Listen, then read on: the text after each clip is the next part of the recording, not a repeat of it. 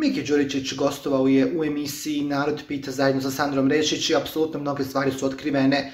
Nekim ljudima nije možda drago što je Dejan pobjednik, ali Dejan je ubjedljivo pobjednik zadruge i osvojio naravno glasove publike i ne bi pobjedio da je drugačiji slučaj bio. Tako da nema sumnje da je on pobjednik. Međutim, Miki kaže, ja kažem da Dejan jeste doživio neke loše stvari. Dejan nije pobjednik zadruge, ja imam pravo da se meni ne sviđaju neki njegovi postupci, ja znam da istina boli, Izašao je na pravi put, ja mu želim sve najbolje, radio neke stvari koje mi se ne sviđaju.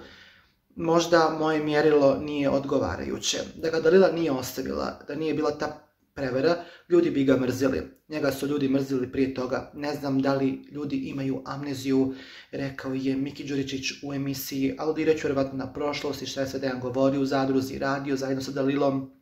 Tako da, Kaže Miki da za njega Dejan nije pobjednik reality programa. Zadruga je da ljudi imaju amneziju od svega. Sad, Dejan je izabran kao apsolutni pobjednik zadruge 5, a ko će biti pobjednik u zadruzi 6?